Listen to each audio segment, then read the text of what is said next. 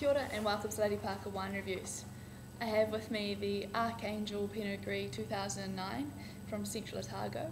Uh, the sub-region is Queensbury, so that is just north of Cromwell on the way to Wanaka on that state main state highway 6. Um, so this is a new vintage, um, a new label, and um, it should be quite something. So just a taste there. Wonderful clarity.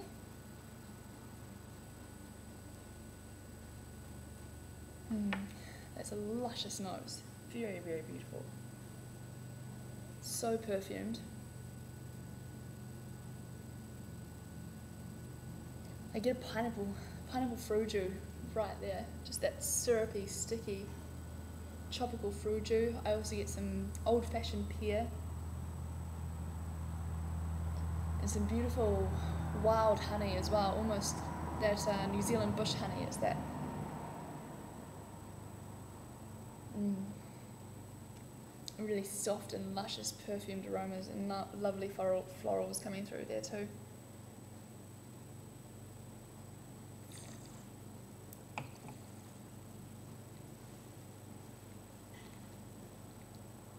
Well, again, it's just delightful in my mouth. It's um, very well balanced.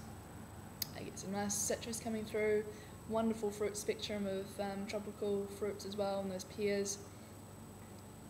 And um, it's really nicely balanced, surprisingly, with often I find Pinot Gris um, is it can often be quite hot or um, quite high in alcohol content, um, and that is the winemakers struggle to, to sort of balance the phenolics in the, in the white wine, which is the bitterness, with the sugar and the alcohol content. So this one is actually um, quite nicely um, at 13.5%.